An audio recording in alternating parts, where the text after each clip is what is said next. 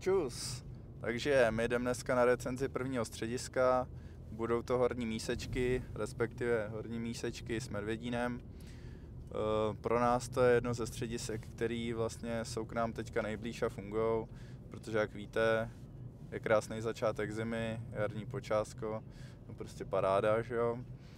Takže jsme rádi, že aspoň tam to funguje a za pár minutek se tam uvidíme.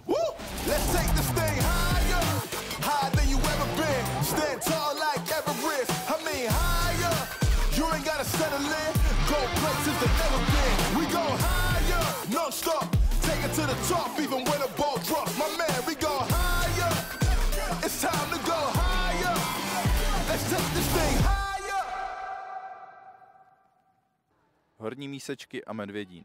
Areál spadající pod Špindlerův mlín, který je zároveň součástí velkého celku středisek GoPass Travel programu. Areál disponuje dvěmi kotvami, dvěmi čtyřsedačkovými lanovkami a u nástupiště každé z nich se nachází parkoviště. Pro ty úplně nejmenší jsou zde k dispozici dva malé vlíčky. Kopce zdejšího areálu nabízí celkem čtyři sjezdovky, modrou, černou a dvě červené. Dorazili jsme na parkoviště, co tam byly cedule, tak možná to bude placený, možná ne, z jsem tam psal, že ne, tak uvidíme ještě, jak to vyřešíme, jinak dorazili jsme teda na parkoviště Míseček, to má teda tady své velké parkoviště a pak ještě druhý parkoviště vlastně z té strany Špindlu od Medvědínu. Takže my se jdeme oblít, koupit jízdenky a jdem na to.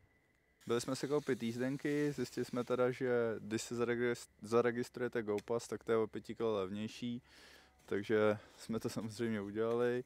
Tady pak dáte čárový kód, jízdenka vám vypadne, můžete jít na to. Ještě je dobrý, že na to máme teda parkování zadarmo.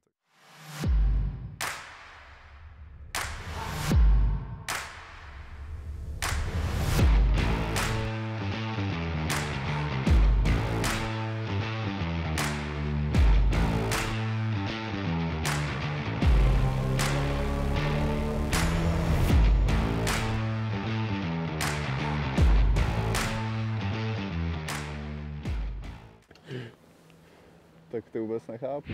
Jsme na vrcholku Medvědína, dneska půjdeme vyzkoušet dvě sjezdovky. Jednu tu medvědínskou, protože uh, druhá medvědínská je zavřená a potom druhou ze strany míseček. No a dneska nám konečně počasí pře, je teda 3. ledna, což je trošku smutný, jen máme v poslední době trošku teplíčko, ale věřím, že se to zlepší a já to asi nebudu zdržovat a jdeme na to.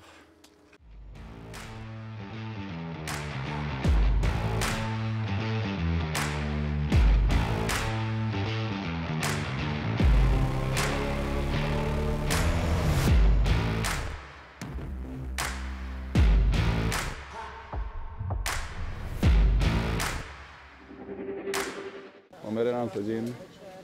Uvidíme, jak to ještě půjde, no. Na sezdovce to bylo dobrý, ale tady už se to pěkně štosuje.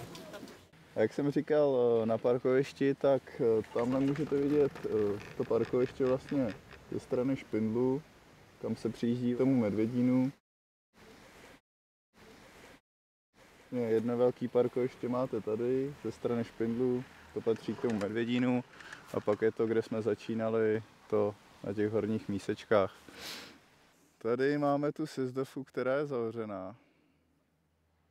Jakoby není zas o tolik horší než ty ostatní, takže by to asi zmákla, ale, ale prostě místem už vidíte, že to je fakt úzký a hodně bídný.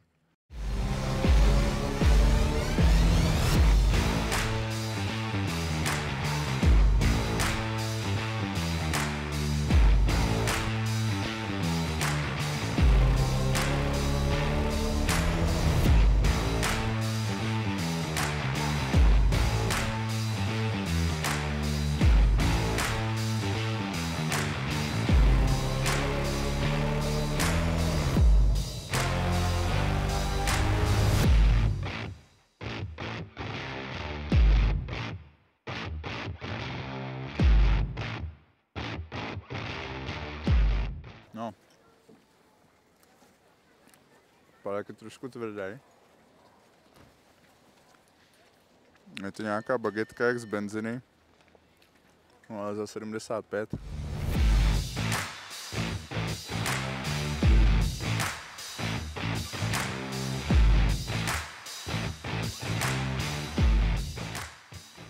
Máme dojezdíno, jezdili jsme dneska vlastně na dvou sjezdovkách nebo jedný a ta druhá byla taková spojená. Jo, tady na mísečkách jsme jezdili uh, vlastně tady na té červený, to je tady jediná ta hlavní sjezdovka. Nahoře je trošku prudčí, dole to je měkčí. Jo, nahoře bylo trošku kamínků, na tom prudkém to bylo tvrdý, takže to bylo fakt dobrý, jakože eh, pro lidi, kteří uměli lyžovat, tak ty si tam mohli dneska fakt užít. Tady dole to bylo měkčí, ale bylo to dobře urolbovaný, takže to bylo v pohodě. Potom teda jsme šli na Medvědín, na Medvědíně, tak uh, tam vlastně uh, červená byla zavřená a jelo se zleva po modrý, tam to je vlastně začátek je mírný až do takové spojovačky a tam se to přepojilo k té červený a dál se jelo po červený. Tam to je trošku prudčí, prudčí jsou tam nějaký hupy, ale uh, celkově ta sjezdovka je dobrá. Stejně jak tady, tak nahoře to bylo tvrdý, takže tam se fakt dobře, dal se, tam, dal se to tam do toho pořádně pokládat. Uh, tam dole tam už to bylo trošku měkčí, ale zas uh, se na tom dalo vyblbnout, protože tam byly nějaký bouličky a tak, takže to bylo v pohodě. Takže celkově dneska to ježdění uh, na to, jaký je prostě počasí jarní, tak bylo v pohodě. Naše hodnocení se bude celkově skládat ze 100 bodů, budou tam spadat sjezdovky, ceny, parkování, ubytování a jídlo. Čehož sjezdovky mají 50 bodů, ceny 20 a ty další jsou po desíti. Sjezdovky jsme rozdělili do čtyř podkategorií, úprava, rozmanitost, vleky a osobní hodnocení. První podkategorie je úprava, tak úprava myslím si, že na to prostě jaký jsou podmínky, že fakt jako není sníh, tak se tady snaží dělat co, co se dá. Jako sice jsem tam, byly tady nějaký kamínky, ale prostě jinde to ani třeba nejezdí. Takže za mě jako nebylo to ani špatně urobovaný, prostě za úpravu dávám 8. Rozmanitost tady za mě na mísečkách a Medvědíně je opravdu velká. Ty kopce tady jsou, eh, nebo sezdovky tady jsou opravdu široký.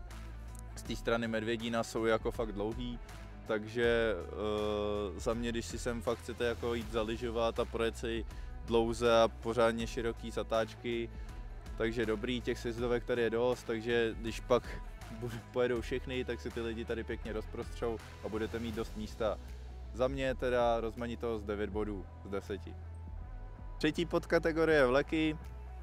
Vleky tady jsou, jsou tady dvě ty čtyřsedačkové lanovky, za mě úplně dostačující, hlavně jsou to takové ty lanovky, které se vycvakávají, že když vystupujete nebo nastupujete, tak zpomalej a oni díky tomu pak můžou jet rychlejš, což je dobrý, prostě ta cesta netrvá tak dlouho, takže lanovky za mě dobrý. Uh, jsou tady i uh, kotvy, což když to pojede všechno, tak můžou pomoct tý jako vytíženosti, že pak nebudou takové fronty, ale uh, ty vleky za mě dobrý, Není to úplně ta super moderní lanovka, s, že je vyřejvaná, šestisedačka s kopulí, jo, takže to bodové hodnocení tomu taky budu přihlížet, takže dávám 7 bodů z 10. Osobní hodnocení, tak mě osobně se tady fakt líbilo, zaležoval jsem si dobře, ty sjezdovky byly v pohodě, dá se tady jezdit i jako pro mě, pro náročnějšího, tak mi to tady stačí plus až to tady pojede celý, tak to bude úplně super. Nic mě tady nějak extra nevadilo nebo nezaskočilo, takže samozřejmě vždycky jde něco zlepšit, ale dávám 16 bodů z 20. Ceny. Tady pro mě taková trošku komplikovanější kategorie, protože máte dvě možnosti. Buď si koupíte GoPass, anebo si koupíte jízdenku na pokladně, nebo online to, co mají na pokladně ale není tady prostě možnost koupit si dvouhodinovku nebo tříhodinovku, což za mě je dost nevýhodný, protože člověk, který si chce jít ráno fakt zaležovat jenom, když je ten kopec úplně dobrý, tak úplně z tohohle z toho je vyškrtlej a vlastně musí si platit celodenní jízdenku. Pojďme se na to podívat podrobněji. Cena GoPassu je flexibilní, ale v průměru, když si to koupíte den předem, tak stojí zhruba 1000 korun. Když si koupíte celodenní jízdenku na pokladně, tak stojí zhruba 1600. takže ten GoPass, GoPass se vyplatí více. Díky tomu, že vlastně ten systém GoPassu je takový trošku komplikovanější a zasloužil by si to trošku celý vysvětlit, tak eh, k tomu uděláme samostatný video. Abychom tedy ceny uzavřeli, tak jak už bylo řečeno, chybí nám tady hodně ty hodinovky, takže dáváme 13 bodů z 20. Co se týče parkování, tak eh, parkování vlastně ta strana Míseček i ta strana Medvědína mají svoje velké parkoviště. Eh, parkování, když máte GoPass, tak je parkování zadarmo, pak když GoPass nemáte, tak parkování stojí 300. Takže tohle je dobrý si zjistit a ten GoPass si musíte aktivovat předtím, než dojedete na to parkoviště. Jak si ho nekoupíte předtím, než dojedete na to parkoviště, tak vás to nepustí. Uh, to parkoviště je hnedka u, u sjezdovky, u lanovky, takže to blízko, nemusíte nikam chodit. Za nás 8 uh, bodů z 10. Předposlední kategorie ubytování, tak tu bereme tak trochu z hlediska i infrastruktury, zda, je, mm, zda se dá lehko dostat vlastně na kopec, nebo jestli jsou přístupní skibusy. Uh, vlastně ta jedna strana z toho Medvědína, tak to je vlastně do Špindlu, tak tam skibusy jezdí, je to přístupný parkoviště a všechno, hotely, tak ve Špindlu jich je dost. Ze strany Míseček, tam je taky spoustu těch hotelů a apartmánů a se skibusem to je třeba tak, že jezdí z Jelemnice uh, každou půl hodinu. Uh, za mě teda s tím tady není vůbec problém, dávám 9 bodů. Poslední kategorie je jídlo, tak z z toho hlediska to tady je fakt rozmanitý, je tady spousta hospod, máte tady na kopci úplně na vrcholku, dole na Medvědíně jsou asi dvě, tři hospody, z té strany z Míseček, tam je taky Lemnická bouda třeba, je tady toho fakt hodně, takže samozřejmě všude nebudeme lítat a všechno zkoušet, ale z tohle z toho hlediska je tady kde se najít, je to rozmanitý, takže uh, za páreček, ale který jsme zkoušeli dole na, dole na Medvědíně, tak srážím jeden bod dolů, protože ten byl nic moc, ale to je spíš takový jako s humorem, takže dávám 7 bodů z 10. Celkový počet bodů je tedy... To bude pro dnešek tedy vše. Doufám, že se vám to líbilo, děkujeme za zhlédnutí. Příště se už doufám uvidíme někde na plně zasněžených sjezdovkách, zase třeba v jiném areálu. A já už se teda s váma rozloučím a vidíme se příště.